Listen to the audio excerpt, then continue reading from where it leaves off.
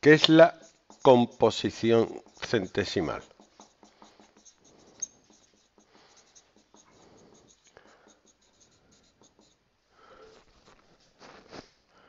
Es el porcentaje en masa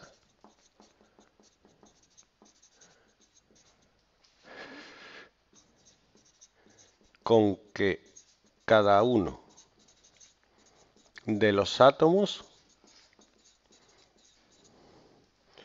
contribuye a la molécula que forma. Vamos a empezar con el agua, ¿vale? La composición centesimal del agua es, te coges que tiene hidrógeno y oxígeno, ¿vale? Tiene dos átomos de hidrógeno y uno de oxígeno. El hidrógeno pesa 1 y el oxígeno pesa 16. 2 por 1, 2, 1 por 6, 16, 2 más 16, 18. Pues si yo divido 2 entre 18, que es la masa de hidrógeno que hay en una molécula de agua, y lo multiplico por 100, es decir, calculo el porcentaje,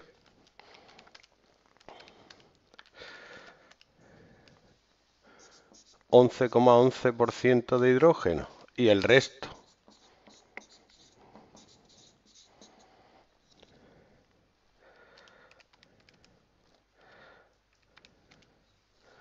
88,89% es la composición centesimal del agua.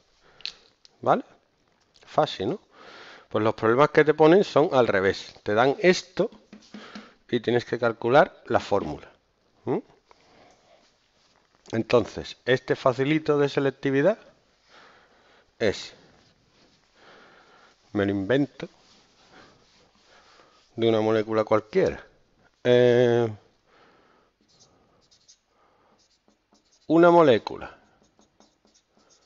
tiene un 92,31% de carbono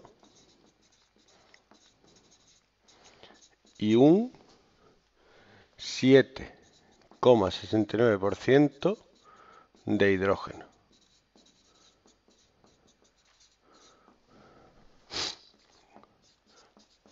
¿Cuál es su fórmula empírica?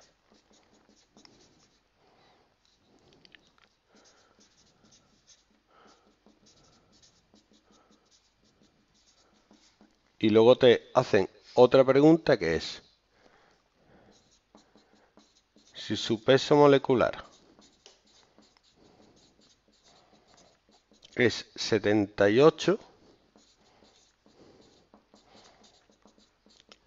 ¿Cuál es su fórmula molecular?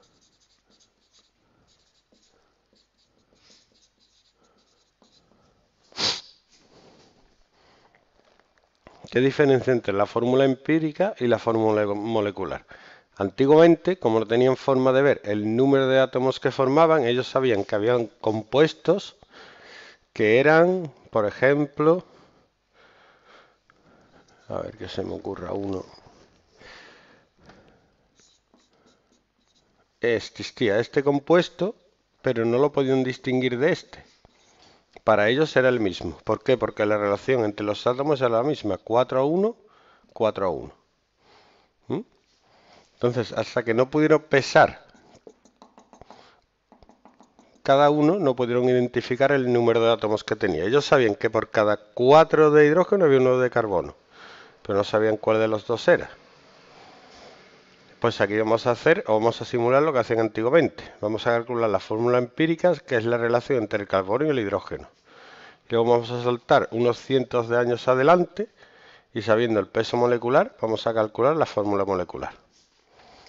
Para calcular la fórmula empírica a partir de los porcentajes se actúa de forma contraria como hemos hecho antes.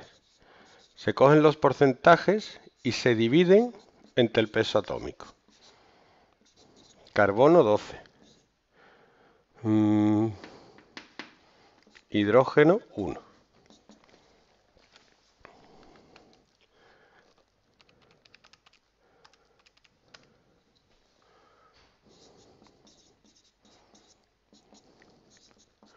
Y luego, de lo que te da, divides los dos números entre el más pequeño. Que aquí da aproximadamente 1 y aquí da 1. Entonces yo de aquí sé que la fórmula empírica es carbono, hidrógeno, CH.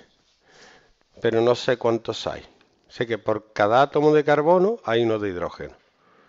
¿Vale? Pero ahora me dicen que el peso molecular es 78. Entonces yo sé que tiene que haber el mismo número de carbono y de hidrógeno, pero no sé cuál es ese número. ¿Mm? Entonces, lo único que tengo que hacer es coger, a ver, ¿cuánto pesa el CH? El CH pesa 13, ¿no? 12 ¿Mm? más 1, 13. Divido 78 entre 13 y me da 6. ¿Qué quiere decir eso? Que tiene que haber 6 de cada uno para que pese 78. 6 por 12. 72 más 6, 78. ¿Vale? ¿Está enterado o no está enterado? ¿Seguro? Pues no lo